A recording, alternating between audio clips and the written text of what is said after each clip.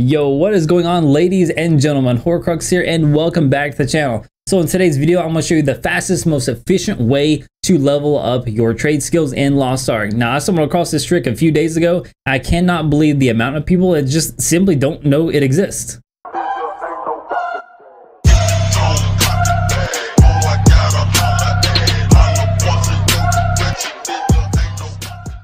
Before we dive on in, today's video is sponsored by AoEAH.com. These guys have some of the lowest prices for in-game currency and items of practically any game you can imagine. Link is down in the description below. Now let's get into the video. Okay, so yes, I am on Lullaby Island, but this is applicable literally anywhere. This is for an example, and Lullaby Island doesn't have any enemies, so you can just freely farm whatever you damn well please. But there are many, many more locations that is actually going to be better than Lullaby Island. Because it is all about how many nodes you have near you. So let me explain. While Lullaby Island is one of the best farming places to level up your trade skills, this is going to be true for your foraging, your lumberjacking, also your mining, not necessarily the other trades, but these three in particular are what we're to be focused on in this video because the other trade skills aren't really applicable. So what am I talking about? First of all, guys, you need to be using these. If you're not, this to shave off hours and hours of your time. These are Leap's Essences. So this increases your life energy consumption by 3000. Tool durability loss is like plus 100%, but it doubles your trade skill XP. Trade skills or materials gained. So this is effectively going to shave off 50% of your time farming when you're leveling out your trade skills. And there are also potions that restore your life energy, but I believe those are only available in the store or Mari shop. Correct me if I'm wrong down in the comments, but that's not what this video is about. Okay, so up to this point, you're probably unimpressed. Now, up here in the top right-hand corner, this is your channels. This is essentially the instance you choose to be in. So if you go to the top right and you click on the arrow down box, it will show you each instance or channel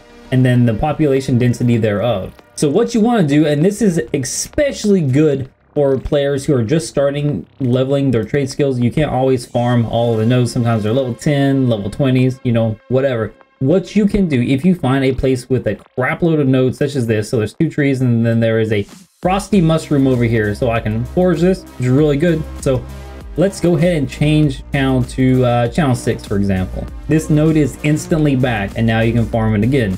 Now, sometimes you'll run across a node that you cannot farm. Well, guess what? Just change the channel and more than likely it's going to change to something you can farm.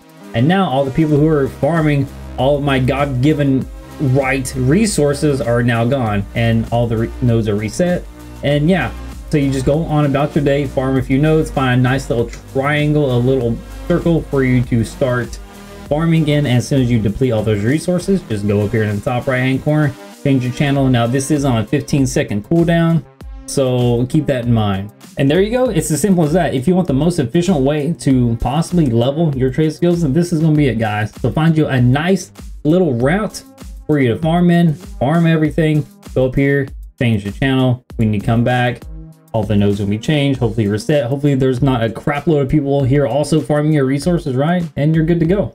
Okay, that's it. That's pretty much all you need to know, guys. Again, if you find a location that has a crap load of nodes that you can just circumvent and farm in a circle, man, go for that one instead of Lullaby Island. I just like this because there's no enemies for you to worry about and super armors you have to cast and yada yada. So if you found any information at all helpful in this video, I would really appreciate a like and sub. And before I go, a huge and glorious shout out to my patrons and also my community members who keep this channel afloat. And you guys are absolutely amazing. If you want to help support the channel and help keep me motivated, keeping making blah blah blah blah guides like this. Link is down in the description below to my YouTube memberships, Patreon, and also the Discord if you want to come by and just chat. Thanks for watching today's video. Catch y'all in the next one. Peace.